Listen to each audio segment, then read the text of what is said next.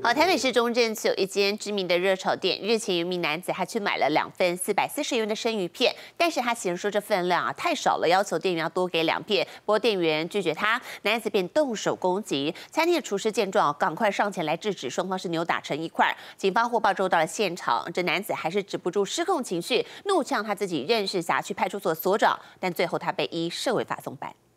热潮店内，白衣男站在柜台前，劈头就嫌自己买的生鱼片分量太少，希望可以多送几片，但店员拒绝了。男子开始无理取闹，伸出手攻击店员。这时，戴黄色毛帽的厨师见状，立刻上前把男子压制在角落，打电话报警。我今天是被欺负的，你坐哈，我替你主持公道啊！有没有想过我我的感受？脸上全是淤青，男子泪诉自己的心酸，谁能懂？只是想买个生鱼片，搞成这样，但没想到是。失控的还在后头。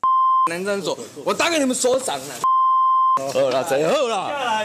你到底冲啥？止不住失控情绪，男子声称自己跟辖区派出所所长很熟，不断接触好了，这个两个，最后只好将他带回警局。冲突地点就发生在台北市中正区一间知名热潮店。四十五岁的张姓男子因为不满自己买的两份生鱼片共四百四十元，分量太少，要求多给，但店员回应无权决定，男子便伸出手攻击店员。餐厅厨师见状，立刻上前压制，一路把他推到店外，一阵扭打后，张姓男子不仅脸上全是淤青，最后也被依涉违法送办。虽然彼此暂不提告。